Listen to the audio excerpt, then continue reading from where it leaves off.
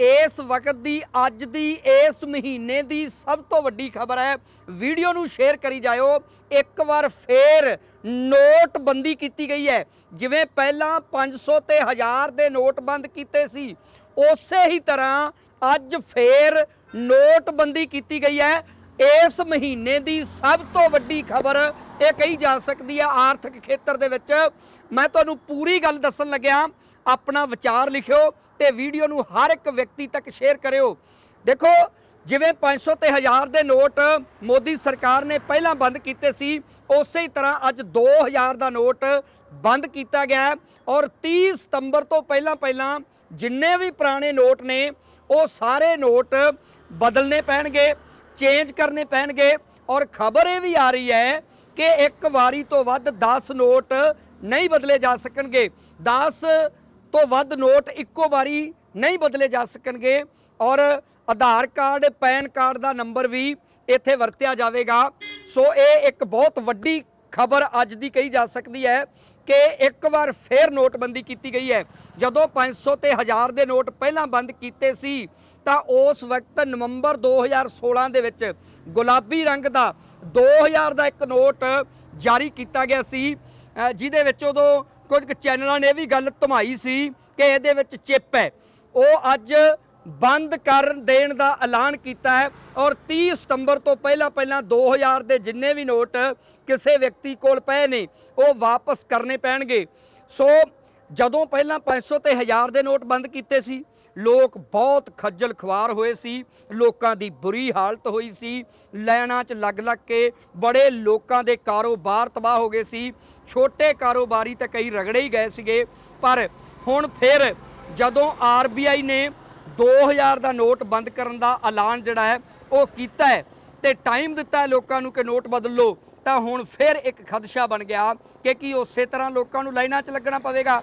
ਮੰਨਦੇ ਆ ਕਿ ਉਸ ਵਕਤ 500 ਤੇ 1000 ਦੇ ਨੋਟ ਲੋਕਾਂ ਕੋਲ ਜ਼ਿਆਦੇ ਸੀ ਤੇ ਹੁਣ 2000 ਦੇ ਘੱਟ ਹੋ ਸਕਦੇ ਨੇ, ਪਰ ਨਾਲ ਦੀ ਨਾਲ ਸੋਚਣ ਵਾਲੀ ਗੱਲ ਇਹ ਵੀ ਬਣਦੀ ਹੈ ਇਹ ਵੀ ਬਣਦੀ ਹੈ ਕਿ ਮੰਨ ਲਓ ਕਿਸੇ ਹੁਣ ਜਿਹੜੇ ਕਿਸਾਨ ਲੋਕ ਨੇ ਜਾਂ ਮਜ਼ਦੂਰ ਨੇ ਜਾਂ ਮੁਲਾਜ਼ਮ ਨੇ ਜਾਂ ਹੋਰ ਛੋਟੇ ਕਾਰੋਬਾਰੀ ਨੇ, ਕਿਸੇ ਵਿਅਕਤੀ ਨੇ ਜੇ ਕੁਝ ਪੈਸਾ ਆਪਦੇ ਕਿਸੇ ਚੀਜ਼ ਵਾਸਤੇ ਜਮ੍ਹਾਂ ਕੀਤਾ ਹੋਵੇ, ਜਿਵੇਂ ਕਿ ਬਹੁਤ ਸਾਰੇ ਲੋਕ ਅਕਸਰ ਕਰਦੇ ਨੇ, ਜ਼ਮੀਨਾਂ ਠੇਕੇ ਤੇ ਚੜ ਰਹੀਆਂ ਨੇ, ਜ਼ਮੀਨਾਂ ਦੇ ਠੇਕੇ ਮਿਲ ਰਹੇ ਨੇ, ਕਿਸਾਨਾਂ ਨੂੰ ਫਸਲਾਂ ਦੀਆਂ ਪੇਮੈਂਟਾਂ ਹੋ ਰਹੀਆਂ ਨੇ, ਆੜਤੀਆਂ ਦੇ ਵੱਲੋਂ ਔਰ ਇਸ ਦੇ ਨਾਲ ਨਾਲ ਜੇ ਕਿਸੇ ਨੇ ਕੋਈ ਛੋਟਾ ਮੋਟਾ ਕਮਰਾ ਘਰ ਪਾਉਣ ਲਈ ਕਿਸੇ ਗਰੀਬ ਬੰਦੇ ਨੇ ਜਾਂ ਕੋਈ ਛੋਟਾ ਮੋਟਾ ਕਾਰੋਬਾਰ ਖੋਲਣ ਦੇ ਲਈ ਕੋਈ ਪੈਸੇ ਇਕੱਠੇ ਕੀਤੇ ਜਾਂ ਜੋੜੇ ਜਾਂ ਕਿਸੇ ਤੋਂ ਫੜੇ ਹੋਣਗੇ ਤੇ ਉਹ 2-2000 ਦੇ ਨੋਟ ਹੋਣਗੇ, ਤਾਂ ਫਿਰ ਉਹ ਫਿਰ ਕਈ ਕਈ ਵਾਰ ਜਾ ਕੇ ਲੈਣਾ ਚ ਲੱਗੇਗਾ।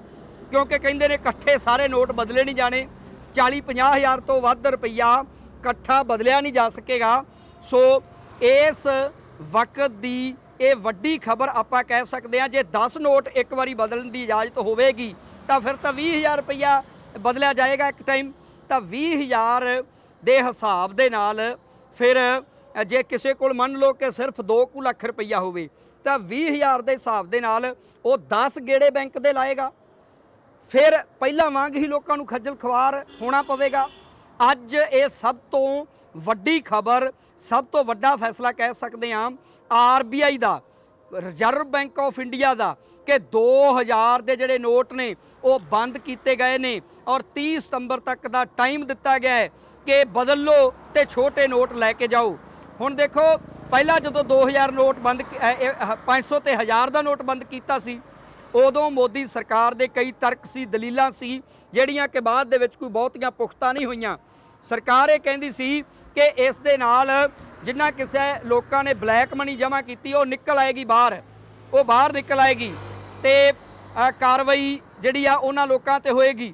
ਪਰ ਨਾ ਤਾਂ ਕੋਈ ਕਿਸੇ ਸਰਮਾਏਦਾਰਾਂ ਤੇ ਕਾਰਵਾਈ ਹੋਈ, ਨਾ ਹੀ ਇਹ ਵੀ ਗੱਲਾਂ ਆਉਂਦੀਆਂ ਰਹੀਆਂ ਕਿ ਜਿੰਨੇ ਕੁ ਨੋਟ ਆਰਬੀਆਈ ਨੇ 500 ਤੇ 1000 ਦੇ ਛਾਪੇ ਸੀ, ਉਹ ਲਗਭਗ ਸਾਰੇ ਦੇ ਕਰੀਬ ਹੀ ਵਾਪਸ ਚਲੇ ਗਏ ਸੀ ਥੋੜੇ ਬਹੁਤ ਨੂੰ ਛੱਡ ਕੇ। ਤਾਂ ਇਹਦਾ ਮਤਲਬ ਕਿ ਉਹ ਜਿਹੜੇ ਦਾਅਵੇ ਸੀ ਮੋਦੀ ਸਰਕਾਰ ਦੇ ਕਿ ਇਹਦੇ ਨਾਲ ਕਾਲਾ ਬਾਜ਼ਾਰੀ ਰੁਕੇਗੀ ਜਾਂ ਆ ਹੋ ਜਾਏਗਾ, ਉਹ ਚੀਜ਼ਾਂ ਤਾਂ ਪੁਖਤਾ ਨਹੀਂ ਹੋਈਆਂ। ਉਸ ਤੋਂ ਬਾਅਦ ਇਹ ਵੀ ਸਵਾਲ ਉੱਠੇ ਕਿ ਕਈ ਲੋਕ ਕਹਿੰਦੇ ਸੀ ਕਿ ਵੱਡੇ ਨੋਟ ਨਹੀਂ ਹੋਣੇ ਚਾਹੀਦੇ, ਬਾਬਾ ਰਾਮਦੇਵ ਇੱਕ ਵਪਾਰੀ ਰਾਮਦੇਵ ਹੈ, ਉਹ ਕਹਿੰਦਾ ਹੁੰਦਾ ਸੀ, ਵੱਡੇ ਨੋਟ ਨਹੀਂ ਹੋਣੇ ਚਾਹੀਦੇ। ਜੇ ਵੱਡੇ ਨੋਟ ਹੋਣਗੇ ਤਾਂ ਫਿਰ ਇਹਦੇ ਨਾਲ ਧਨ ਜਮ੍ਹਾਂ ਕਰਨਗੇ ਲੋਕ, ਛੋਟੇ ਨੋਟ ਹੋਣੇ ਚਾਹੀਦੇ। ਤੇ ਉਦੋਂ ਵੀ ਇਹ ਗੱਲ ਉੱਠੀ ਕਿ 500 ਤੇ 1000 ਦਾ ਤੁਸੀਂ ਬੰਦ ਕੀਤਾ ਤੇ 2000 ਦਾ ਉਦੋਂ ਵੱਡਾ ਸ਼ੁਰੂ ਕਰਤਾ। ਤੇ ਫਿਰ ਇਹ ਗੱਲ ਪੁਖਤਾ ਕਿਵੇਂ ਹੋਈ? ਸੋ ਇਸ ਟਾਈਮ ਦੀ ਸਭ ਤੋਂ ਵੱਡੀ ਖਬਰ ਇਹ ਕਹੀ ਜਾ ਸਕਦੀ ਹੈ, ਸਭ ਤੋਂ ਵੱਡੀ ਖਬਰ ਅੱਜ ਦੀ ਅੱਜ ਦੀ ਸਭ ਤੋਂ ਵੱਡੀ ਖਬਰ ਕਿ 2000 ਰੁਪਏ ਦਾ ਨੋਟ 500 ਤੇ 1000 ਵਾਂਗ ਬੰਦ ਕੀਤਾ ਗਿਆ ਔਰ 30 ਸਤੰਬਰ ਤੱਕ ਦਾ ਲੋਕਾਂ ਨੂੰ ਟਾਈਮ ਦਿੱਤਾ ਹੈ ਕਿ ਆ ਕੇ ਬਦਲ ਕੇ ਛੋਟੇ ਨੋਟ ਲੈ ਜਾਓ। ਹੁਣ ਤੁਸੀਂ ਇਹ ਦੱਸੋ ਕਿ ਕੀ ਇਹ ਫੈਸਲਾ ਤੁਹਾਨੂੰ ਠੀਕ ਲੱਗਾ? ਜਾਂ ਫਿਰ ਜਿਹੜਾ 500 ਹਜ਼ਾਰ ਵਾਲਾ ਪਹਿਲਾ ਫੈਸਲਾ ਸੀ ਮੋਦੀ ਸਰਕਾਰ ਦਾ, ਉਸੇ ਤਰ੍ਹਾਂ ਹੀ ਤੁਹਾਨੂੰ ਇਹ ਫੈਸਲਾ ਗਲਤ ਲੱਗਾ ਸੋ ਤੁਸੀਂ ਆਪਣਾ ਵਿਚਾਰ ਲਿਖਿਓ, ਤੁਸੀਂ ਬਹੁਤ ਸਿਆਣੇ ਹੋ ਤੇ ਇਹ ਜਿਹੜਾ ਪੇਜ ਜਿਹਦੇ ਉੱਪਰ ਆਪਾਂ ਗੱਲ ਕਰ ਰਹੇ ਹਾਂ, ਇਸ ਪੇਜ ਨੂੰ ਤੁਸੀਂ ਜਰੂਰ ਫਾਲੋ ਕਰੋ, ਕਿਉਂਕਿ ਇਹ ਇਹ, ਇਹ- ਇਹ ਉਹ ਪੇਜ ਨੇ ਜਿਨ੍ਹਾਂ ਦੇ ਉੱਪਰ ਆਪਾਂ ਲੋਕਾਂ ਦੇ ਮੁੱਦੇ, ਕਿਸਾਨਾਂ ਦੇ, ਮਜ਼ਦੂਰਾਂ ਦੇ, ਮੁਲਾਜ਼ਮਾਂ ਦੇ, ਬੇਰੁਜ਼ਗਾਰਾਂ ਦੇ, ਛੋਟੇ ਵਪਾਰੀਆਂ ਦੇ ਤੇ ਆਮ ਲੋਕਾਂ ਦੇ ਮੁੱਦੇ ਉਠਾਉਂਦੇ ਰਹਿੰਦੇ ਆ ਸੋ ਇਸ ਪੇਜ ਨੂੰ ਫੋਲੋ ਕਰੀ ਜਾਓ ਔਰ ਅੱਜ ਦੀ ਸਭ ਤੋਂ ਵੱਡੀ ਖਬਰ ਇਹ ਇਹ ਹੈ ਕਿ 2000 ਦਾ ਜਿਹੜਾ ਨੋਟ ਹੈ, ਉਸ ਨੂੰ ਇੱਕ ਵਾਰ ਆਰਬੀਆਈ ਨੇ ਭਾਰਤ ਸਰਕਾਰ ਦੇ ਅਦਾਰੇ ਨੇ ਬੰਦ ਕਰਨ ਦਾ ਐਲਾਨ ਕੀਤਾ ਹੈ ਔਰ 30 ਸਤੰਬਰ ਤੱਕ ਦਾ ਲੋਕਾਂ ਨੂੰ ਸਮਾਂ ਦਿੱਤਾ ਹੈ ਕਿ ਭਾਈ ਆਓ ਤੇ ਵਾਪਸ ਲੈ ਛੋਟੇ ਨੋਟ ਲੈ ਜਾਓ ਤੇ 2000 ਦਾ ਦੇ ਜਾਓ। ਜਿਵੇਂ 500 ਤੇ 1000 ਦੇ ਨੋਟ ਬੰਦ ਕਰਨ ਵੇਲੇ ਕੀਤਾ ਗਿਆ ਸੀ। ਹੁਣ ਕੀ ਭਾਰਤ ਨੂੰ ਲੋਕਤੰਤਰ ਕਿਹਾ ਜਾਂਦਾ ਹੈ? ਤਾਂ ਕੀ ਐਡਾ ਵੱਡਾ ਫੈਸਲਾ ਲੈਣ ਲੱਗਿਆ ਸਰਕਾਰਾਂ ਨੂੰ ਲੋਕਾਂ ਦੀ ਕੋਈ ਰਾਏ ਨਹੀਂ ਲੈਣੀ ਚਾਹੀਦੀ। ਲੋਕਾਂ ਦੀ ਇੱਛਾ ਨਹੀਂ ਪੁੱਛਣੀ ਚਾਹੀਦੀ। ਜਾਂ ਸਰਕਾਰਾਂ ਅਜਿਹਾ ਵੱਡਾ ਫੈਸਲਾ ਜਦੋਂ ਕਰਨਾ ਹੈ, ਤਾਂ ਉਹ ਕਿਸੇ ਵੱਡੇ ਮਕਸਦ ਜਾਂ ਵੱਡੇ ਫਾਇਦੇ ਲਈ ਕਰਦੀਆਂ ਨੇ। ਜੇ ਉਹ ਫਾਇਦੇ ਲਈ ਕਰਦੀਆਂ ਨੇ, ਤਾਂ ਫਿਰ ਉਹ ਫਾਇਦਾ ਦਿਸਣਾ ਵੀ ਚਾਹੀਦਾ ਹੈ। 500 ਤੇ 1000 ਦੇ ਨੋਟ ਬੰਦ ਕਰਨ ਵੇਲੇ ਵੀ ਦਾਵਾ ਬਹੁਤ ਵੱਡੇ ਫਾਇਦੇ ਦਾ ਕੀਤਾ ਸੀ।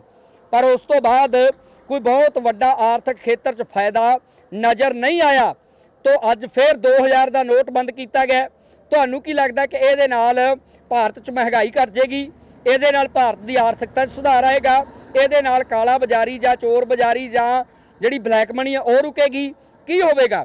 ਆਪਣਾ ਵਿਚਾਰ ਲਿਖਿਓ। ਮੈਂ ਤੁਹਾਡਾ ਵੀਰ ਡਾਕਟਰ ਬਖਸ਼ੀਸ਼ ਸਿੰਘ ਆਜ਼ਾਦ। ਤੁਸੀਂ ਦੇਖ ਰਹੇ ਹੋ ਤੁਹਾਡਾ ਆਪਣਾ ਮੇਰੇ ਨਾਲ ਕੈਮਰੇ ਤੇ ਜਸਪ੍ਰੀਤ ਸਿੰਘ ਬਹੁਤ ਮਿਹਰਬਾਨੀ ਸ਼ੁਕਰੀਆ।